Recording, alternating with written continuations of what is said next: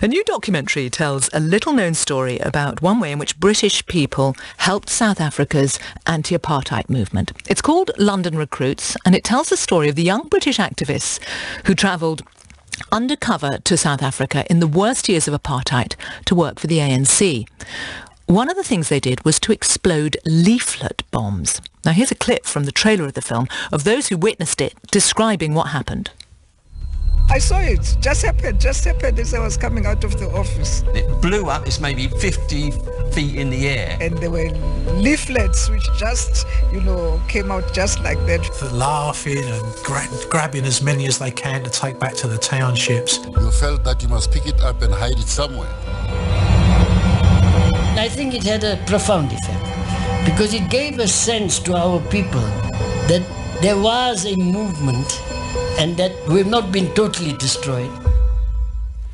Well, we're joined here in the studio by Ronnie Kasrils, who's uh, who was South Africa's Minister for Intelligence Services, but uh, an ANC member.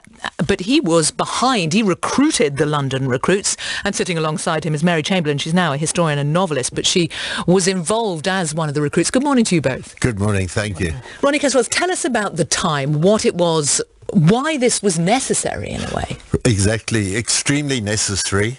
It's after the well-known Rivonia arrests of Mandela Sisulu, the leadership, and uh, activists in South Africa. So the ANC and its allied movements were virtually crashed. They did not exist. This is in the late 1960s and I was here in exile I was asked by the leader of the ANC based in uh, Tanzania Oliver Tambo. Do something about it with the likes of Joe Slovo who was here other luminaries. And we had to get the message across. The security police and government was saying the ANC's finished. We're on top.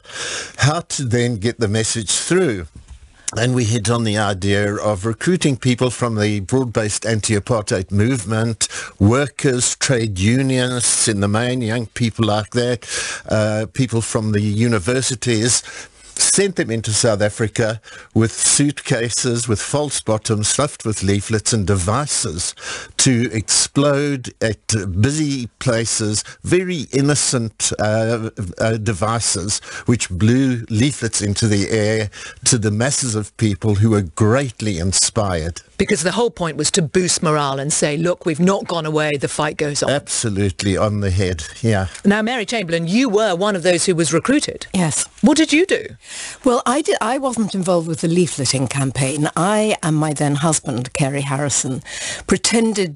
to emigrate to South Africa. So we had something like 22 old-fashioned wooden tea chests, all of which had a false bottom. And in the false bottom, we smuggled in 7,000 pamphlets, which we then had to post and, and distribute out you know, throughout South Africa. So it was, if you like, a big mail drop that we were involved in. And you were able to do?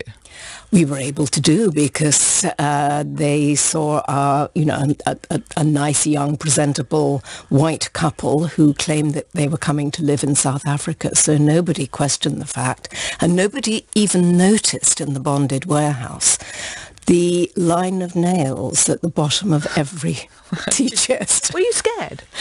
Uh, I was when I saw those lines of nails. 23-year-old young lady. but, um, but, you know, we, I think that was the point. We were really very young. We were committed to what we were doing. None of us had children. I think the moment you have children, you start to worry. We weren't we thought we were invincible. Were you caught? Were you? Was it found out what you? Were? I wasn't caught, although Ronnie has told me now that the Secret Services did have one of those false-bottomed tea chests. But there were three people who were caught. And what happened to them? Um, well, Sean Hosey was imprisoned for five years, having been fairly brutally uh, tortured. George Moumbaris got 12 uh, Alex Moumbaris and Alex, his wife, Alex, Mary Mary. Jose. Yeah. Um, French couple. So although it's London recruits, we recruited from here, but wonderful metropolitan city, Irish people, Scots, a lot of English, American, Greek and yeah. French and, and, like. and were there many? I mean, you were... You were... Well, in that period, this was a key period, 66 to about 72, 73, I recruited something like 60 people and sent them in as couples. They didn't know that others were in, and we synchronized their actions. So five, six major cities of South Africa at a particular time on a particular day saw five, six of these leaflet bombs and street broadcast uh, devices going off.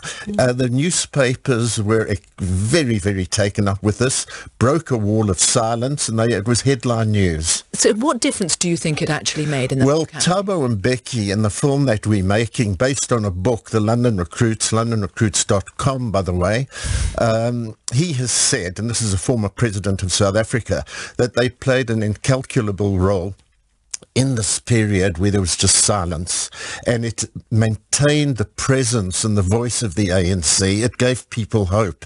After five, six years into the mid-70s, we were able to reconstruct the organization inside to take over. But quite a number of recruits remained with us and served right through to 1989, 1990. So they they actually played a wonderful role. We used the anti-apartheid movement. People of the time, as we well know, uh, from London and elsewhere in the world were fired by this just cause, which was the cause of apartheid, and were prepared to risk so much. Well, there is. I mean, there's such sort of mixed feelings about going to effectively fight or to campaign in another country for something that isn't necessarily your war. You obviously, Mary Chamberlain, had no doubts about that. Absolutely no doubts at all. And I think you have to remember that our generation, who were born just during or, or shortly after the Second World War, we grew up in um, a pretty turbulent era. We, we, we, you know, we were the inheritors, if you like, of the struggles of the Second World War. We grew up in, you know, the depths of anti-colonial struggle. I mean, there was absolutely no question that this was morally wrong. I mean, Do you think we're a bit soft now? Um, Is that There isn't. That there are different causes, different struggles that are being fought about now, and I think. Uh, Well, it's the It- it's- confusion in the world and the terrorism, which this wasn't part of. So the youth of that time and older people as well understood this was a just cause and the internationalism, British internationalism and that elsewhere. They followed that path of assisting people in need, just struggle, moral high ground. Well, London Recruits is going to come out shortly, I understand. Uh, but Ronnie Kasrils and Mary Chamberlain, thank you both very much. Thanks for having you. us. Thank you.